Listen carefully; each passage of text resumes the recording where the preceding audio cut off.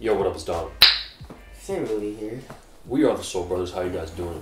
Uh, if you're in the market for a basketball shoe that's extremely non-durable, uh, and these are the shoes to get, these right? are the, these are the shoes. We'll link them all below. You know, Yes. have at it. Um, yeah, so if you want like a long-lasting shoe, then you should probably stay away from these shoes. Yeah, some of them are definitely more less durable than others. Yes.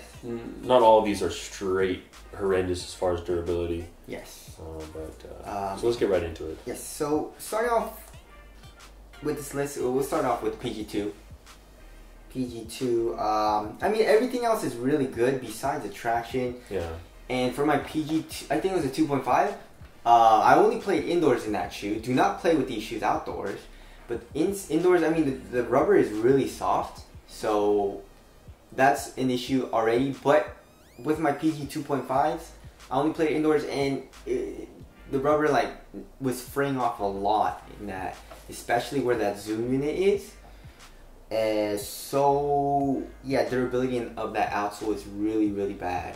Um, so Upper's pretty good, though. Yeah, exactly. Which so is chill, but but if the if the rubber's kind of like fraying off, not like good. coming off in chunks, then yeah, it's a pretty big problem. So, anyways, so there's that. Tell us if you guys have experienced that. And, Mhm. you know, tell us down in the comment section below.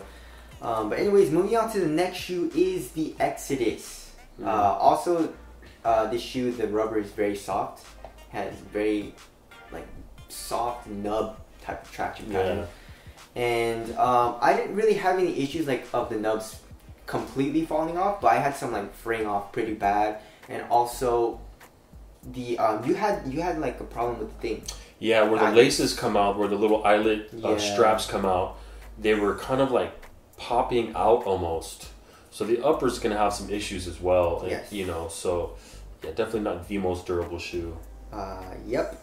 All right, moving on to the next shoe is the Hyperdunk 10 or X. The rubber is very soft. Uh, also, that rubber frays off a good amount, and also the rub, uh, the upper is not very durable as well. I, I just felt it. I didn't really have any rips or anything, but like it stretches out a lot, and like while breaking it in, it, it, there was like moments where I thought, like when you look at it, it just looks worn out. You know what Yeah, I'm saying? it I just, did. yeah, you know what I'm saying. So, um, not the most durable upper as well. So Hyperdunk not very good uh, for durability. Moving on to the next shoe is the Kyrie Four. Um, so my black pair of Kyrie Fours, I only play indoors, and the rubber like frays off Mm. a lot. And you have to, uh, you know, getting those nubs off. But like, I ground down the Kyrie Four traction a lot, and it was only from indoor use. So um, definitely don't play with them outdoors. And also, the upper is okay, but like, uh, I do a lot of toe drags, and uh, I, I do the toe drags indoor on indoor courts, and the um, the The EM. stitching, not the EM, but you know the, the like the toe guard suede material Yeah, thing. That oh, yeah, that's yeah, yeah. coming off. But And also- some holes in that too. But also, EM has had a history of of not being durable at all, like in the uh, Kobe 11 EM. So yeah, uh, EMs are sometimes a little bit, little bit shady. So, exactly. um, but the king of this list, Yes, you guys already know.